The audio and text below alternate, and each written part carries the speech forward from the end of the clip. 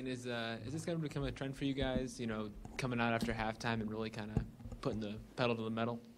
Um, today we just we went in the game and uh, it was just a confusing game. The way they played their zone, um, we're just trying to figure it out in the first half. Um, obviously, we turned the ball over a little too much in the first half, and um, we just the second half we had a feel for what they were doing, so we kind of were able to attack the gaps and, and get to open spots uh, better than the first half. Um, but no, we have to start the game a lot better, um, and we'll do that. What was the feeling among you guys when you saw Luke go down and saw him have to go to the locker room?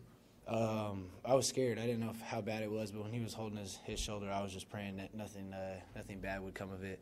Um, and then obviously when he checked back in the game, I was had a had a good relief in my my heart. So um, I'm happy he's okay though. How do you think you guys handle playing with the the small lineup with Hauser at the at the five? How do you how do you How, handle? how do you guys handle that? You know, how do you do you play well off of each other? Do you, you know, Yeah, um, obviously, you're, you know, if Luke gets hurt or, or um, foul trouble or, or whatever it may be, um, we're going to have to play with a small lineup. Um, so obviously, since we got here in the summer, we've been practicing.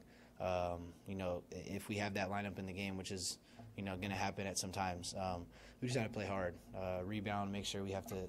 We have to make sure we have to rebound um, with that lineup. Um, offensively, we'll be fine. We can space the floor. We got a lot of shooters on the floor when Sam's at the five. Um, but yeah, we just got to make a, a conscious effort of rebounding, and that's the biggest key when we have a smaller lineup.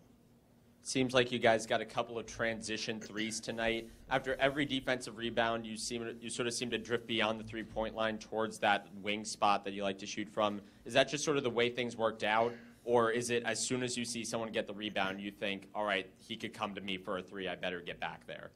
Uh, me individually, or every, um, I mean, they took it. I didn't shoot a three the first half, um, so.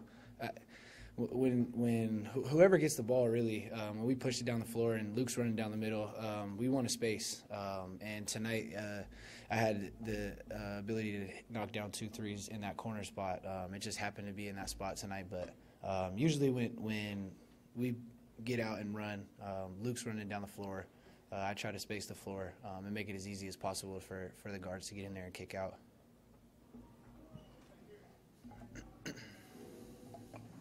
you know, how are you guys feeling heading into you know Thursday's tournament? You know, it's you know obviously we weren't here last year, but it's it's over the course of time that Wojo's been here, Marquette's played well in these early season tournaments, and it seemed to be a boost both of the past two seasons.